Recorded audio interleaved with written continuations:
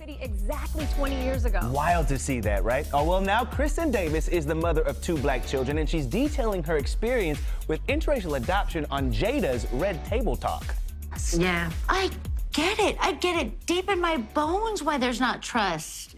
And why would your community trust my community with its babies? Yeah. Right. I 100% understand that. I wouldn't either. Right. We see white people who are adopting black children as trying to be white saviors, Yeah. and you know, I do feel like the white savior thing is a problem and, and it's real. So I don't want to say, you know, that that's just a myth. Right.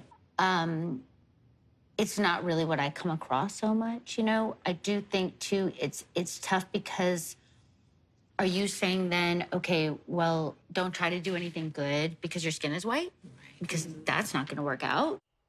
I think that is a heavier conversation. I'm glad they're opening that door to talk about it mm-hmm. because it needs to be longer than just the red table talk. Something tells me there are hours of tape. Yes. You know what I mean? If you love that video, you're going to love everything on the Access YouTube channel. So hit the subscribe button. You can thank me later. Hit it.